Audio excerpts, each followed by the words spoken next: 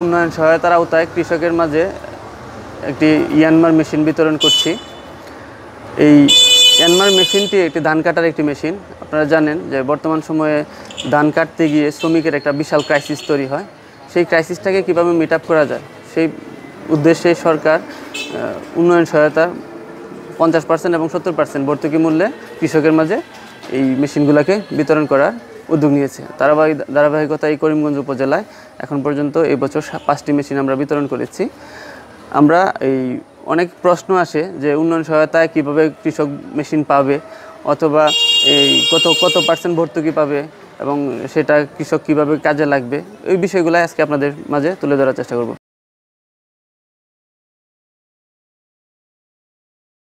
বর্তমান সরকার শেখ সরকার। বাংলাদেশ স্বাধীন হওয়ার পর বঙ্গবন্ধু শেখ মুজিবুর রহমানের যে স্বপ্ন কৃষক বন্ধ- বান্ধব বাংলাদেশ গড়ার আজকে শেখ হাসিনা আমাদের মধ্যে কৃষক বান্ধব দেশ বাংলাদেশ গড়ার পথে কাজ করে যাচ্ছে, তার এই ধারাবাহিকতায় আজকে এই কৃষকের হাতে সত্তর পার্সেন্ট ভর্তুকিতে কৃষক, কৃষকের হাতে এই ধান কাটার মেশিন এসে পৌঁছেছে। আমরা আসলে গর্বিত, এরকম একটা সরকার আমাদের আমরা পেয়েছি বা আমাদের এই দেশ পরিচালনা করছেন। আমি জননেত্রী শেখ হাসিনাকে ধন্যবাদ জানাই।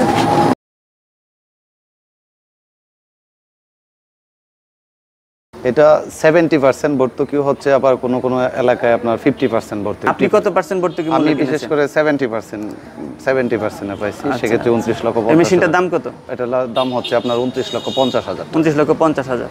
আর গভর্নমেন্ট কতটুকু গভর্নমেন্ট আমাকে দিয়েছে আপনার উনিশ লক্ষ ষাট হাজার টাকা। উনিশ লক্ষ ষাট হাজার। আর বাকি টাকাটা আপনাকে? বাকি টাকাটা আমার পেড করতে হয়েছে ক্যাশ পেমেন্ট payment। এটা আমি আসলে বিভিন্ন এলাকায় দেখছি অনেক আগেই। সেক্ষেত্রে আমি এই চেপ টু ব্যবহার করছি এখন আমি ইয়ানমান নিছি। তো এটা পার ঘন্টায় আপনার এক একর কাটতে পারে। তো এটা আপনার পার ডে একটা ইয়ানমার গাড়ি আপনার ওই একশো বিশ ত্রিশ জন শ্রমিকের কাজ করতে পারে। বিশ থেকে ত্রিশ জন জন শ্রমিকের কাজ করতে পারে।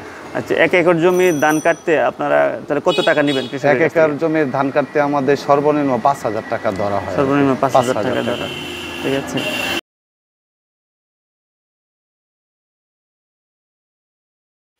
মেশিনটা মোটামুটি এমনি ভালো আছে। একটা মেশিন জাপান প্রযুক্তি। তো এটা মেশিনটার মধ্যে আপনার অটোমেটিক রোটেশন করে মেশিন যখন দেবে জায়গা আপনি আপনি আবার মেশিন উঠে আবার আপনি আপনি নামে লিফট ব্যবহার করা হয়েছে। এরপরে এই ড্রাম সিডার ব্যবহার করা হয়েছে। এই দিয়ে যদি অটোমেটিক আপনার এই যে সবুজ বাতিটা টিপতে রাখলে এই দান উঁচা নিচা সব রোটেশন আপনি আপনি মানে যে কোনো মাপে ধানটাকে কাটা যায়। যতটুকু মাপে কাটুক কাটিং এ কাটতে দেব। হ্যাঁ অটোমেটিক কাটার ভিতরে ফ্রেশিং এর কৃষি বান্ধব সরকারের কৃষি পলিসির কারণেই কিন্তু আজকে আমরা কৃষিতে অনেক দূরে এগিয়ে যাচ্ছি। এবং বর্তমান করোনা ভয়াবহ পরিস্থিতির মাঝেও সরকার বিভিন্ন ধরনের প্রণোদনা প্যাকেজ ঘোষণা করেছে, যেগুলা কৃষকের উন্নয়নে ভূমিকা পালন করবে। তার মধ্যে অন্যতম হচ্ছে কৃষক কীভাবে সহজে তার ধানটাকে কেটে তার ঘরে নিয়ে আসতে পারবে, সেই যে সেটা, সেই ব্যবস্থা করা।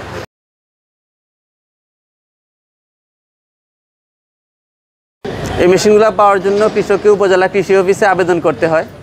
আবেদন করার পরবর্তীতে উপজেলার যে কমিটি আছে, সেই কমিটি সেই আবেদনগুলোকে যাচাই বাছাই করে মিনিস্ট্রিতে পাঠানো হয়। সেখান থেকে অনুমোদন হয়ে আসার পরে মেশিনগুলো আমরা কৃষকের মাঝে বিতরণ করি। তো করিমগঞ্জ হচ্ছে একটি হাওড় বেষ্টিত এলাকা। এই এলাকার কৃষক যত ধান কাটার মেশিন কিনেছে, সবাই সত্তর পার্সেন্ট ভর্তুকি মূল্যেই ধানগুলা এই মেশিনগুলো কিনেছে। এই এই যে মেশিনটা দেখতে পাচ্ছেন সেটার বেসিক মূল্য হচ্ছে উনত্রিশ লাখ পঞ্চাশ হাজার। এটা আপনারা কৃষকের কাছ থেকে সরাসরি শুনেছেন। তারপরেও আমি আহ, আরেকটু ক্লারিফাই করার জন্য এই বিষয়টা বলা। এবং গভর্নমেন্ট উন্নয়ন সহায়তা দিচ্ছে উনিশ লাখ ষাট হাজার টাকা। আর বাকি যে টাকাটা আছে সেটা কৃষক ক্যাশ পে করছে।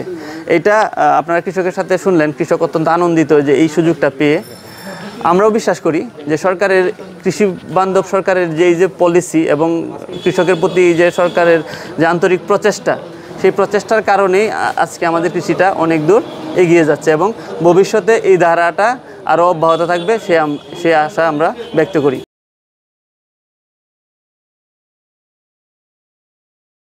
আসসালামু আলাইকুম।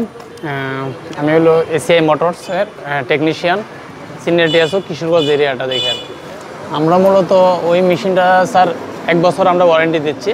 এক বছরের ভিতরে অন দ্য স্পট যে জায়গাতেই প্রবলেম হয়, স্যার, আমরা এই জায়গায় সার্ভিস দেওয়ার চেষ্টা করি। এবং সার্ভিসের পাশাপাশি একজন টেকনিশিয়ানরা আমরা অদক্ষ কারিগর থেকে আমরা তাকে পারফেক্টভাবে ড্রাইভার ট্রেনিং করাই দিই এবং কি, কিছু মেরামতের কিছু যন্ত্রাংশ তাদেরকে নাম বা চিহ্নিতভাবে অ্যাডজাস্টিংগুলো আমরা তাদেরকে আমরা দেখায় দিচ্ছি। আমরা এক বছরে মেনটেনেন্স করার পরে কাস্টমার এবং ড্রাইভার ইচ্ছা করলে ওই মেশিনটা চালা- চালাতে সক্ষম আর কি। ওরা নিজেরাই পারবে আর কি মেশিনে যে মেরামতগুলো আছে ওরা নিজেরাই পারবে আর কি। আচ্ছা এটা যে যন্ত্রপাতি আছে এটা কি এটা আমাদের পাওয়া যাবে?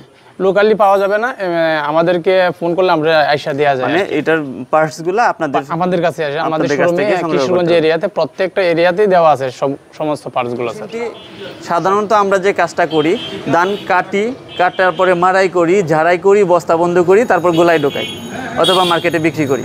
এই মেশিনটির একটি সুবিধা হচ্ছে যে এই মেশিনটা ধানটা কাটে কাটার পরে ঝাড়াই মেশিনের ইন্টারনালি এটা মারাই হয় এবং ইন্টারনালি ঝাড়াই হয় এবং সবশেষে একটা ট্যাঙ্কি আছে সেই ট্যাঙ্কিতে এই ধানটা স্টক রাখা যায়।